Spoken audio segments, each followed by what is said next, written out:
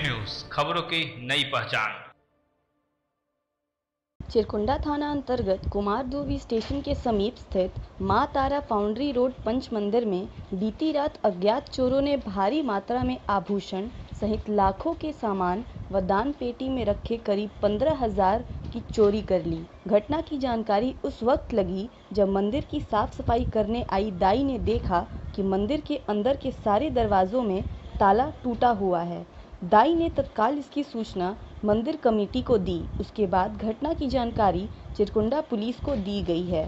मंदिर कमेटी के सदस्यों ने बताया कि चोर मंदिर में लगे रोशनदान का सीसी तोड़कर अंदर प्रवेश किया। माँ सीता का और माँ लक्ष्मी का माँ दुर्गे का जितना भी सामान था सब चला गया। और और क्या राम भगवान का लक्ष्मण जी का, बजरंग बली का, राधे कृष्ण का उसका सब चला गया। और साथ में लड्डू गोपाल तक को लेके चला गया। दो अपने लड्डू गोपाल थे, उनको लेके चले गए।